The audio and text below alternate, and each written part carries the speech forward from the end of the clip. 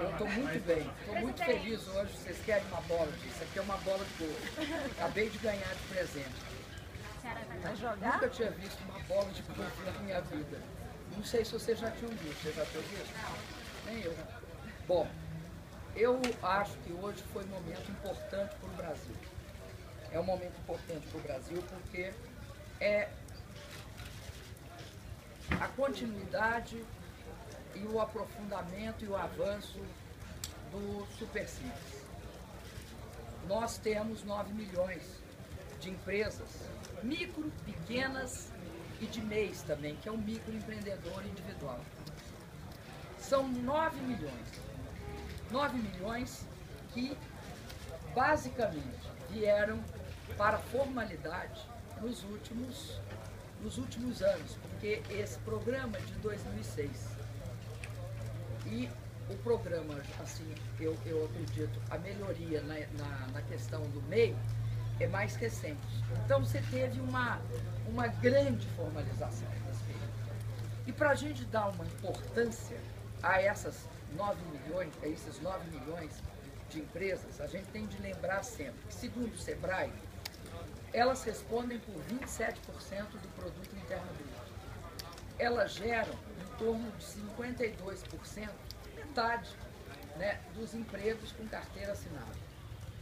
E elas pagam 40% da massa salarial do país. Elas, elas, elas representam 40% da massa salarial do país.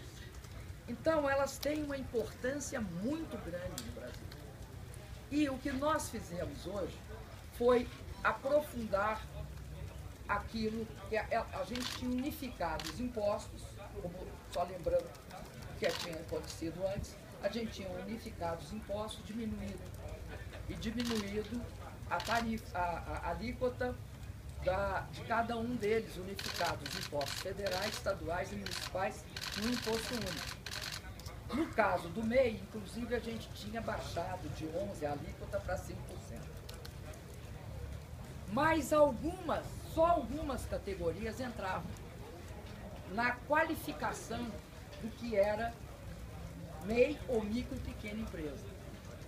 O que, que é que aconteceu com esta, esta nova etapa da lei?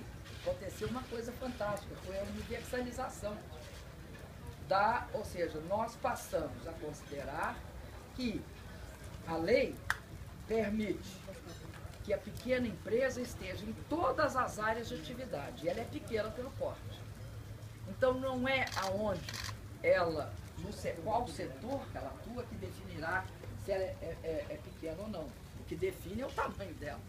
Então é uma racionalização da lei, mas é uma universalização.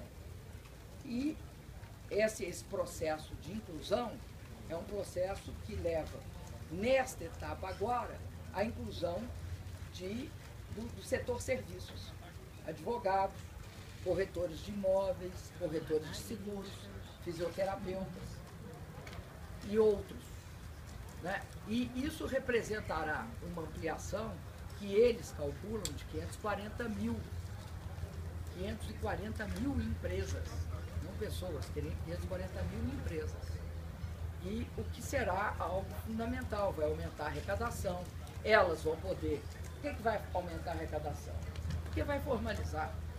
Quando você reduz impostos, você aumenta a arrecadação no médio, no, no médio prazo você aumenta a arrecadação. Porque muita gente passa a pagar quando não pagava, ou quando era proibitivo pagar.